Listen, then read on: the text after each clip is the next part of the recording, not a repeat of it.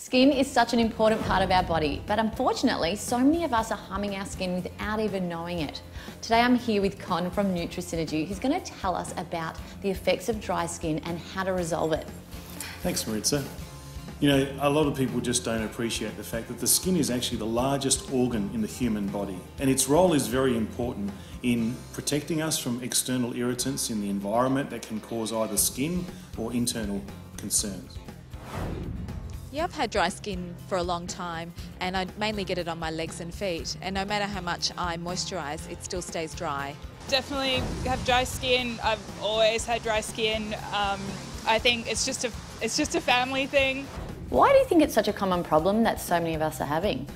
Well, soaps and detergents probably are the main culprit, which are used in most cleansers and washes, and they can simply uh, strip the natural oils in the skin. And Maritza, what that does is it leaves the skin uh, uh, dry and sensitive and allows moisture to evaporate through the skin, leads to dehydration and premature aging, but also can allow irritants to enter into the skin, upsetting the skin and also entering through the skin into the bloodstream can also upset us internally.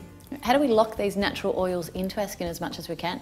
Well, eliminating soaps and detergents are the way to do that. And Nutrisynergy produce a product called Soap Free Wash, which enables us to cleanse the skin without stripping those natural oils. So we don't use soaps or chemically derived detergents. So a mild cleansing system means we can cleanse the skin without stripping those oils and dehydrating or damaging the skin. So there's a lot of natural ingredients in this product. That's correct. And natural ingredients are designed to give us the most compatible um, cleansing system without causing irritation or introducing new damage to the skin. I know when I'm dry, I just want to pack my face full of moisturiser and try to get those oils back in.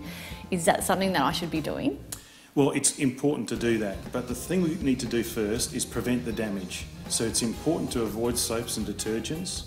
It's also therefore important after we've got to stage one to then say, can we use a moisturiser?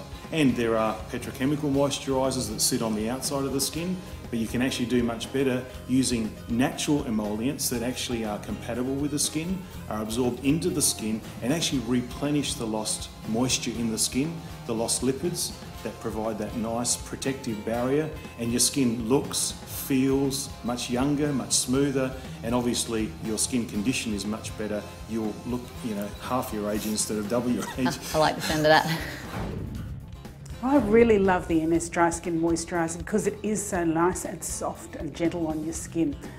It absorbs really quickly. It's great to put it on just after you've had a shower because it locks in that moisture into my skin. We've got a great offer for all our Get a Life viewers. Jump online at getalife.tv and follow the Nutrisynergy links.